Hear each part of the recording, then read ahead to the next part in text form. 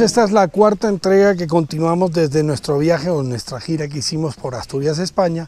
Hoy tuvimos la visita a ASEAMO. ASEAMO es la asociación que maneja la Asturiana de la Montaña o Casina. Allá nos recibió Ángel Castañón, nos mostró las sedes nuevas que tienen donde se va a manejar la raza Casina.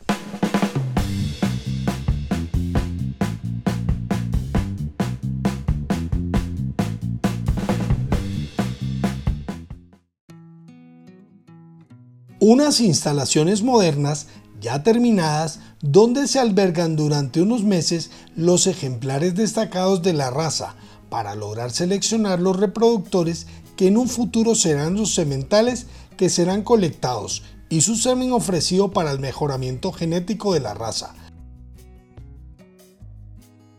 Allí también conocimos de primera mano la posibilidad muy cercana de exportar la genética hacia otros países, entre ellos Sudamérica, proyecto que permitiría una gran expansión de estos maravillosos animales.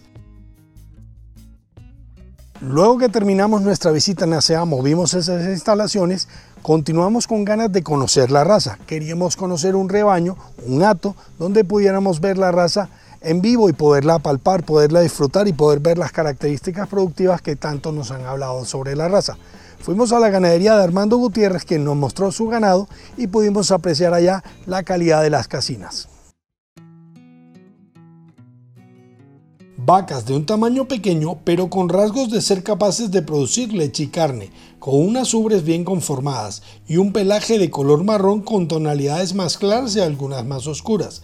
Bovinos que a simple vista son rústicos y que están adaptados a las zonas de ladera y montaña.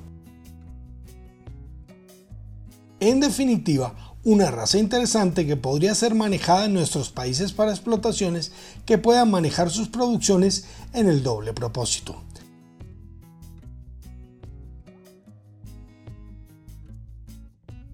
Bueno amigos, después de ver este ganado quedamos con dudas, con ganas de saber si realmente las características que nos gustaron de la raza solamente eran en este hato élite o lo podía haber en otro hato cualquiera.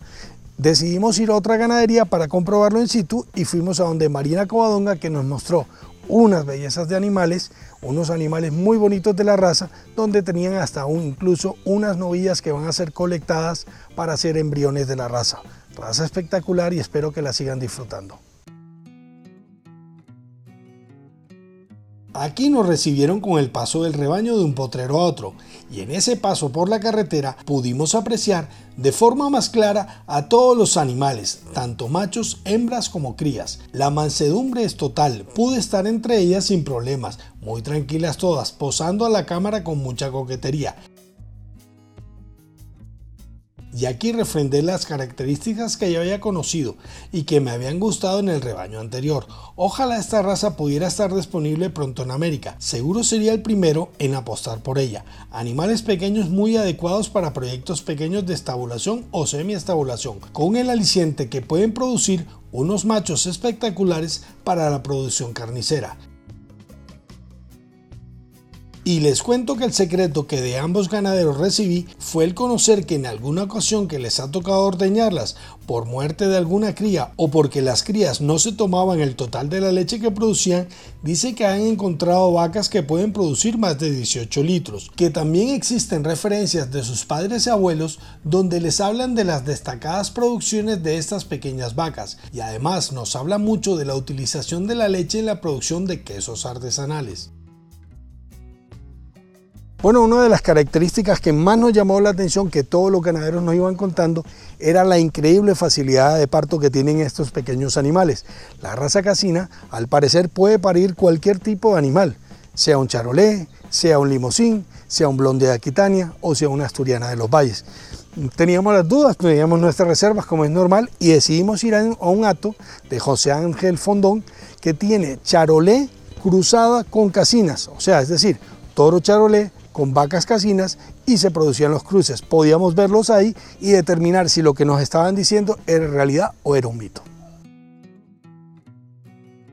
Cuando llegamos al lugar donde se encontraban estas hembras casinas, pudimos ver cómo padreaban con toro charolé, animal de gran tamaño, y que muchas hembras de la raza tenían ya crías F1 de casina por charolé, pero también encontramos algunas que eran tres cuartos charolé por casina. El cruce es muy vistoso, animales con formato carnicero notable, pero ya en este punto la leche se ha reducido. Lo que sí podemos certificar es que en definitiva estas vacas pueden parir sin problema animales de tallas más grandes y que logran levantarlos con altos pesos, gracias a su gran producción lechera, lo que las constituye como una gran alternativa para su manejo como raza pura o en cruzamiento para el doble propósito. Todo lo que hemos hecho durante esta gira y lo que nos falta todavía para continuarla y terminarla va a ser muy interesante. Hemos visto razas diferentes, hemos visto algunas características de producción distintas y hemos conocido algunas cosas que no conocíamos normalmente en nuestras ganaderías. Es importante siempre tener, no quiere decir que todo lo pongamos en práctica, pero siempre es importante tener una visión diferente de la ganadería porque ahí vamos a encontrar cosas que hacemos nosotros muy bien y que son productivas y funcionales y que no debemos cambiar, pero en cambio podremos hacer otras cosas que otros hacen y que a nosotros nos podrían funcionar de forma maravillosa. Así que eso es lo importante de la ganadería, hay que ver, observar, aprender y determinar qué sí nos sirve y qué no nos sirve. Si te ha gustado el canal, no olvides suscribirte. Te espero la próxima semana con más videos, con más continuación de esta gira y espero que por supuesto nos pongas el like si el video de hoy te ha gustado. Nos vemos en una pronta y próxima oportunidad. Hasta siempre, muchas gracias.